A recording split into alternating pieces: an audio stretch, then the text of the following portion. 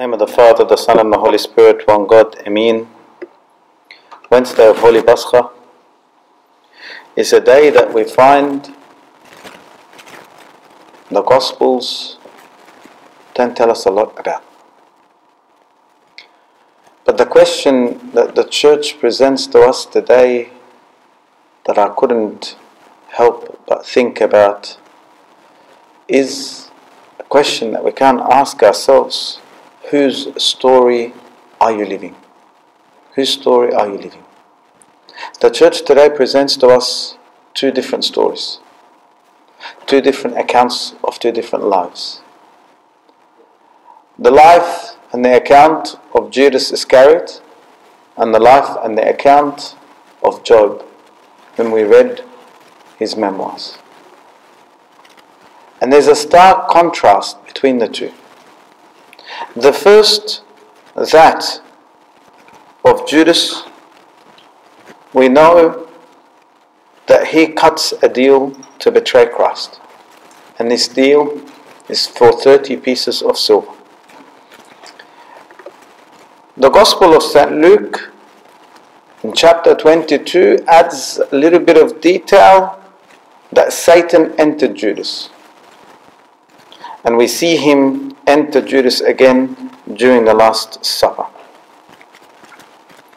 But as Wednesday and the plot of the day sets in motion, you could imagine Keda Satan thought he had it all worked out. It was all happening. In Matthew chapter 26, we hear how much Judas actually gained through his negotiation with the chief priests.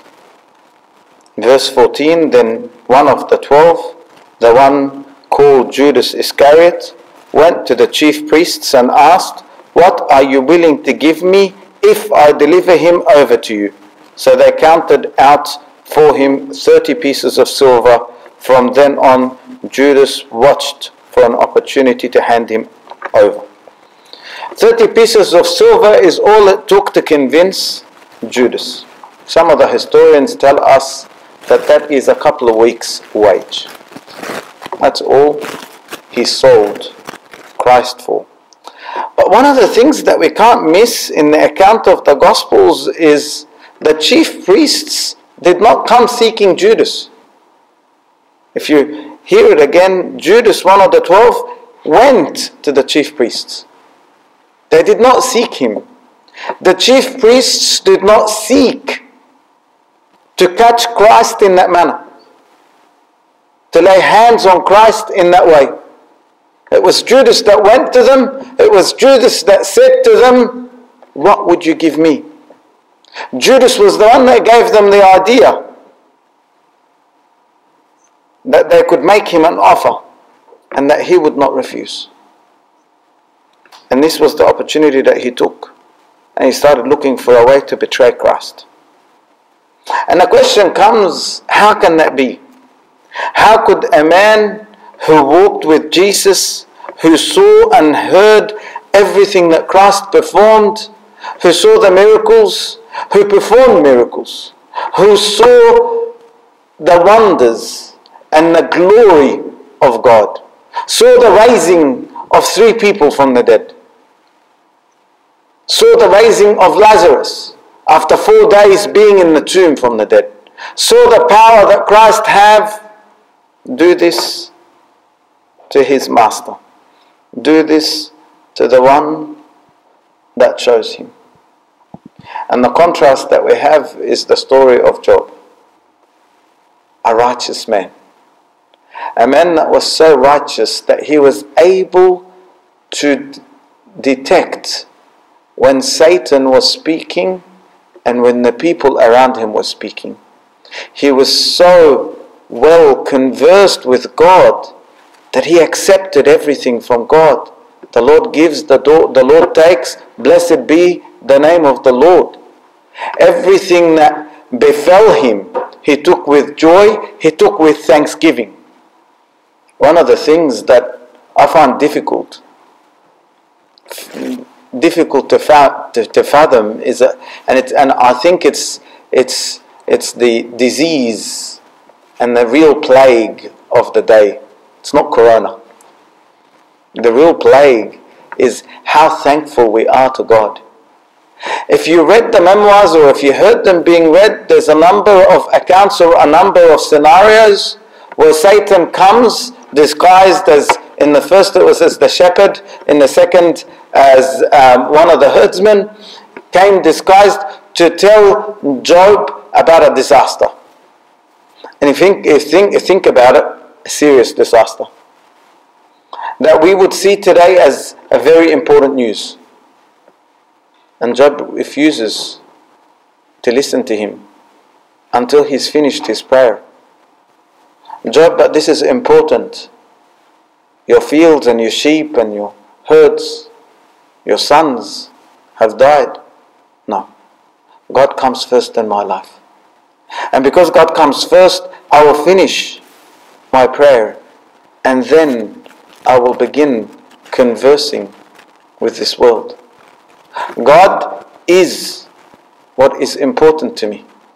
You see in the conversation between Job and his wife towards the end, Rahmah, when she starts giving up, he says to her, Have you not considered that last day? Have you not considered that all this world is transient?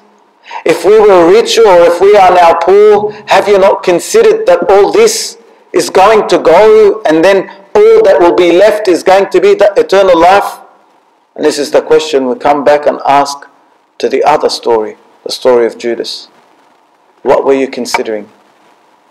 Now, the issue that we have is the question of which story are we living?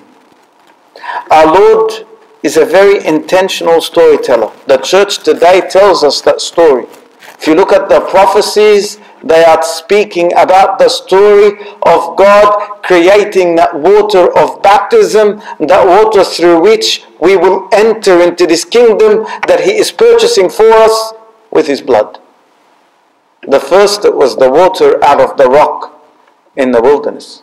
The second was the splitting of the Red Sea for Moses and the Israelites to pass through, to pass through from the land of death, from imminent death, death at the hands of the Egyptians.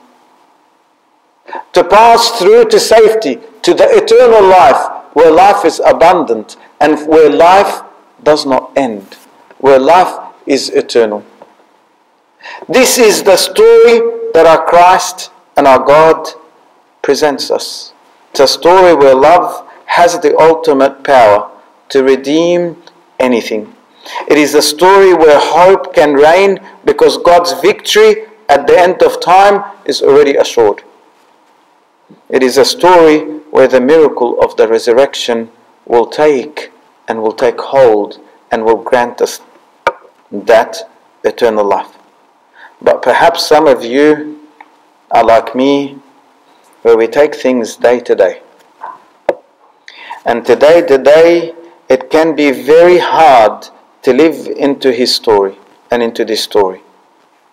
And so I ask this final question to myself Whose story are you living? You see, we already know what the story of God is writing. But if we cannot live into the story that God is telling, we might have just entered or been enter- uh, we may have just been entertaining a story from the evil one. Satan had a plan with Job. And his plan was to make him fall, to make him fail, to make him lose that righteousness. Satan had a plan with Judas. And his plan with Judas was to make him betray his master. And Satan has a plan for me and for you.